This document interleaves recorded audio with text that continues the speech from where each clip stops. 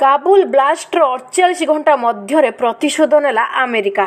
ମାତ୍ର ଅଡ଼ଚାଳିଶ ଘଣ୍ଟା ଭିତରେ ଆମେରିକା ଆତଙ୍କବାଦ ବିରୁଦ୍ଧରେ କାର୍ଯ୍ୟାନୁଷ୍ଠାନ ଗ୍ରହଣ କରିଛି ଯାହା ବିଶ୍ୱର ଏହି ଶକ୍ତିଶାଳୀ ରାଷ୍ଟ୍ର ଆମେରିକା। ଆନ୍ତର୍ଜାତୀୟ ଗଣମାଧ୍ୟମ ମୁତାବକ ଆଇଏସ୍ଆଇଏସ୍ କେ ପ୍ଲାନର ଉପରେ ଡ୍ରୋନ୍ ଦ୍ୱାରା ଆକ୍ରମଣ ହୋଇଛି। ୟୁଏସ୍ର ସେଣ୍ଟ୍ରାଲ କମାଣ୍ଡ ମୁଖପାତ୍ରଙ୍କ କହିବା ଅନୁଯାୟୀ ଆଫଗାନିସ୍ତାନର ନାନଗର ପ୍ରଦେଶରେ ଆମେରିକା ପକ୍ଷରୁ ଏହି ଏୟାର ଷ୍ଟ୍ରାଇକ୍ କରାଯାଇଛି। ତେବେ ଏହି ଆକ୍ରମଣରେ ଆତଙ୍କବାଦୀ ନିହତ ହୋଇଥିଲା ବେଳେ କୌଣସି ସାଧାରଣ ଲୋକ ମୃତାହତ ହୋଇନଥିବା ଆମେରିକା ପକ୍ଷରୁ ଦାବି କରାଯାଇଛି। ଅପରପକ୍ଷେ ଆମେରିକୀୟ ନାଗରିକଙ୍କୁ ଯଥାଶୀଘ୍ର ଆଫଗାନିସ୍ତାନ ଛାଡ଼ିବା ପାଇଁ ନିର୍ଦ୍ଦେଶ ଦିଆଯାଇଛି। ନିଶ୍ଚିତ ଭାବରେ ଆମେ କହିପାରିବା କାରଣ କାବୁଲ ବ୍ଲାଷ୍ଟର ଅଡ଼ଚାଳିଶ ଘଣ୍ଟା ମଧ୍ୟରେ ହିଁ ଆମେରିକା ନେଇଛି ପ୍ରତିଶୋଧ ଯେଉଁଟା ତାଲିବାନ ଉପରେ ଆମେ କହିପାରିବା। ଗୁରୁବାରର ଆମେ କହିପାରିବା ଗତ ଗୁରୁବାର ହିଁ ଆମେରିକାର ତେର ଜଣ ଯବାନ ହିଁ ନିହତ ହୋଇଥିଲେ ଯାହାଫଳରେ ଆମେରିକା ରକ୍ତ ଚାଉଳ ଚୋବାଇଥିଲା।